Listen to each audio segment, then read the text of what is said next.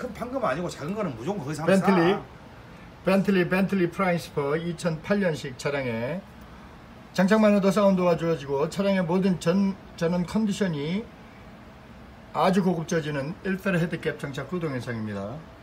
사운드가 아주 디테일해지고 저음도 아주 단단하고 타이트한 저음을 들을 수 있으며 차량의 모든 전기가 고급져지기 때문에 시동도 잘 걸리고 차량의 전기가 확실하게 좋아진다 말씀드릴 수 있습니다. 악셀도 부드러워질 정도로 모든 전기가 고급져집니다. 전기도 전기가 아주 고급지기 때문에 기름도 적게 먹는다 말씀드릴 수 있습니다. 1페르 헤드캡 장착 후 동영상입니다. 프라인스포 2008년식 차량이었습니다. 감사합니다.